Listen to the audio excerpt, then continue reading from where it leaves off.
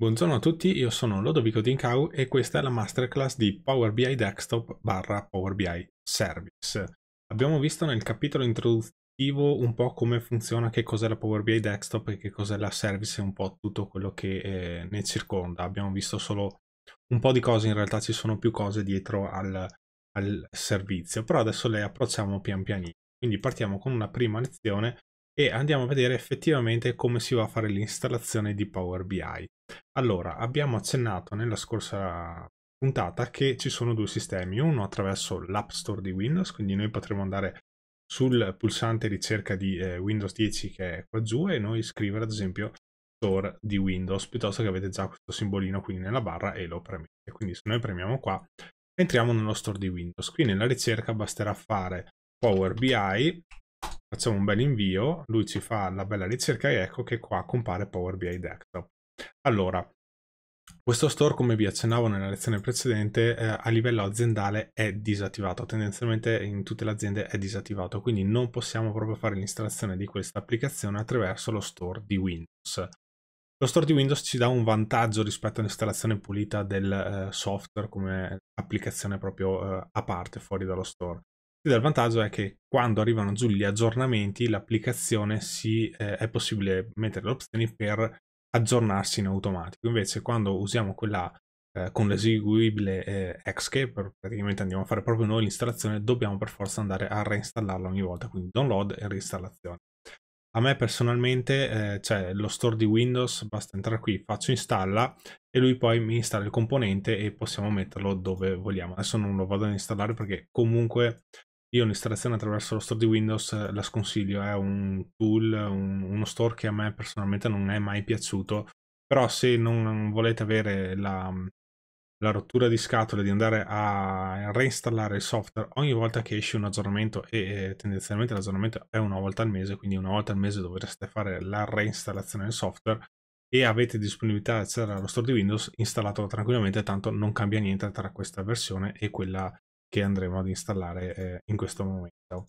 Quindi qui fate installa, lui lo scarica, lo installa e poi lo mettete, ad esempio andate su eh, download e aggiornamenti, eh, vediamo, anzi facciamo eh, impostazioni e qui potete dire, vedete su impostazioni, andate sui tre puntini qua su impostazioni, quali dite, guarda, fai clic qui, attivato, quindi tutte le vostre app si aggiorneranno in automatico, voi non ci pensate più. Facendo così appunto Power BI si installerà e si aggiornerà in automatico poi.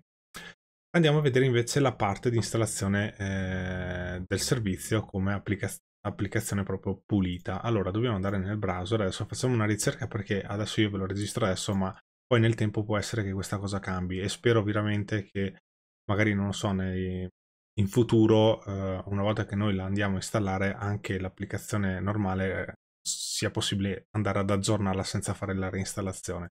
Comunque andiamo qui, Power BI, perché poi eh, scriviamo Power BI Desktop e facciamo una ricerca, perché poi ci si perde un po' nel sito della Microsoft. Quindi andiamo qua, va benissimo powerbi.microsoft.com, entriamo qui e ecco che qui, se io vedete, io vado qua e primo colpo dico ah premo su scarica vedete che lui poi mi reindirizza sullo store ma io uh, come stavamo dicendo non lo voglio utilizzare qui e se è disattivato ovviamente poi non riuscite ad andare avanti. Quindi come si fa a trovare eh, l'eseguibile da installare? Si fa altro che andare in fondo alla pagina, in questo caso qua, andiamo in fondo, in fondo, in fondo, in fondo, e giù in fondo ecco che compare la sezione download, eccolo qua, quindi vedete c'è Power BI Desktop e poi ci sono altre, altre cose, insomma. Noi andiamo qui, facciamo Power BI Desktop e ritorniamo eh, qui. Quindi facciamo visualizza eh, le opzioni per il download e la lingua, ok, e ci porta a questa schermata qua.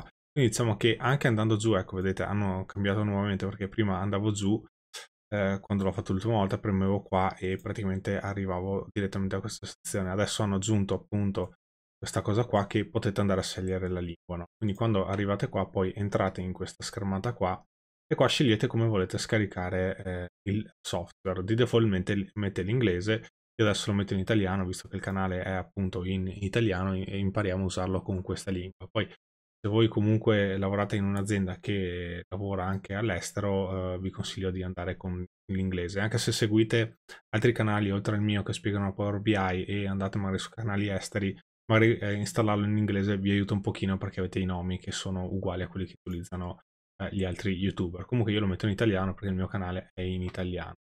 Quindi ecco, io ho premuto là, eh, eh si ricarica la pagina, scrolliamo, ok?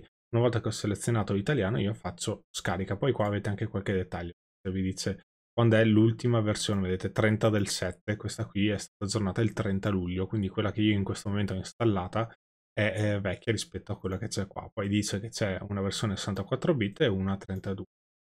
Quindi questi sono un po' i dettagli e qua dice con Power BI poi vi dà un po' di indicazioni. Poi qua ci sono i requisiti di eh, sistema, quindi dovete avere almeno Windows 10 istruzione di installazione basta lanciare appunto eh, l'eseguibile. Quindi noi adesso facciamo un bel scarica.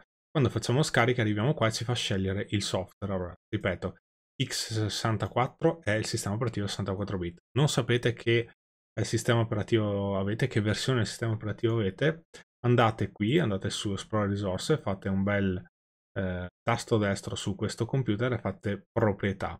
Nel momento in cui fate proprietà, Qui vi escono delle informazioni, vedete, tipo di sistema, sistema operativo a 64 bit. Perfetto, se avete il 32 qua esce scritto che è 32 bit, però ormai sono un po' tutti a eh, 64, sono pochi ormai quelli che restano a 32. Quindi basterà scaricare esclusivamente la versione 64 bit, la 32 non ci interessa. Qui andiamo eh, appunto avanti. E ecco che compare poi la finestrina e facciamo il salva file. Eccolo qui che eh, si sta appunto scaricando. E appena il software sarà stato scaricato vedete qui c'è l'eseguibile exe. Noi lo eh, lanciamo.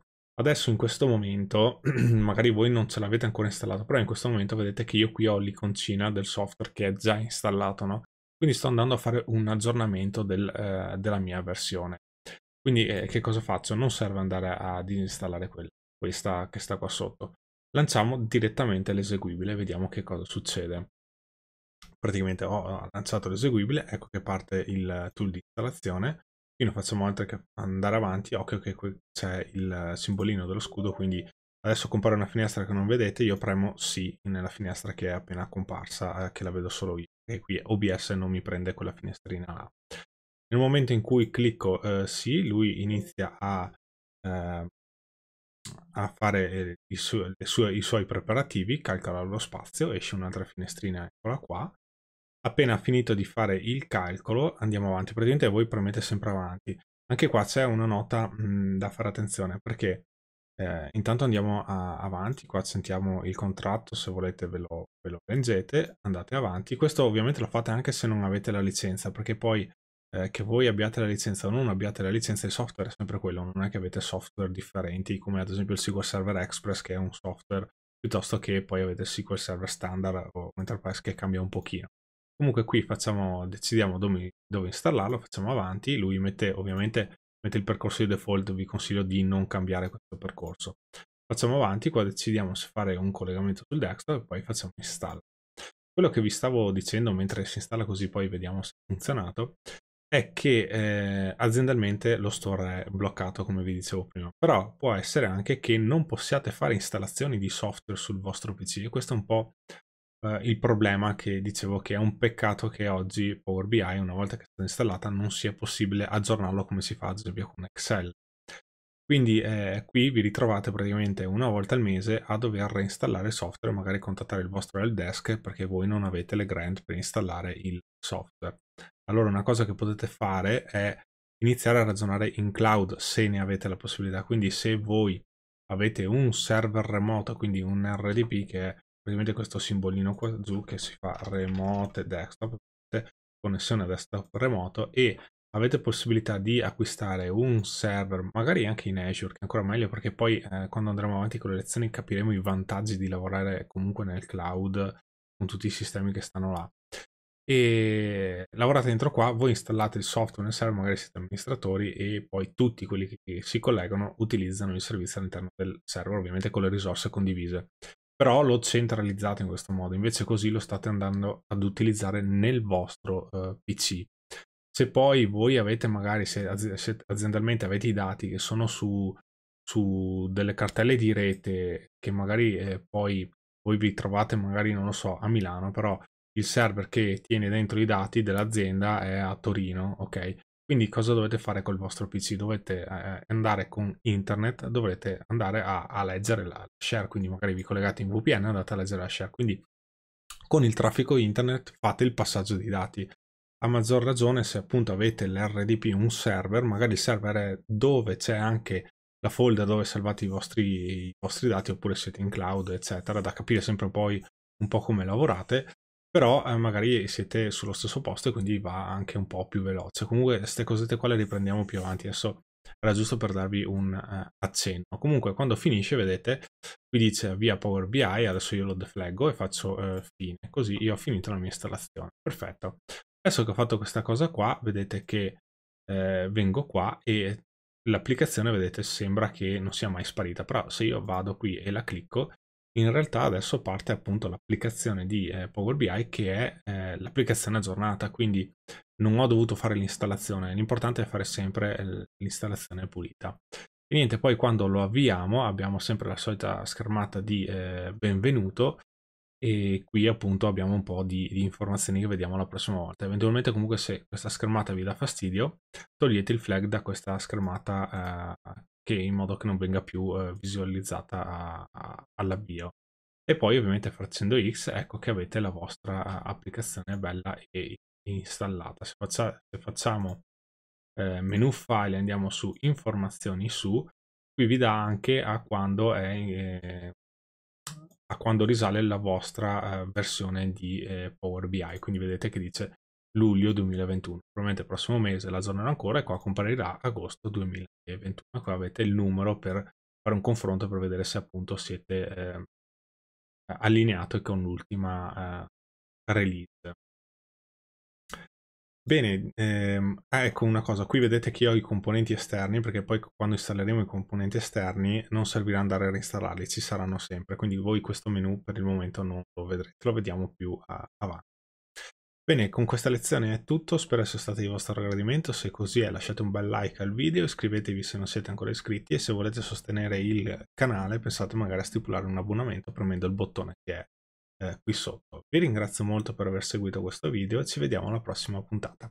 A presto, ciao!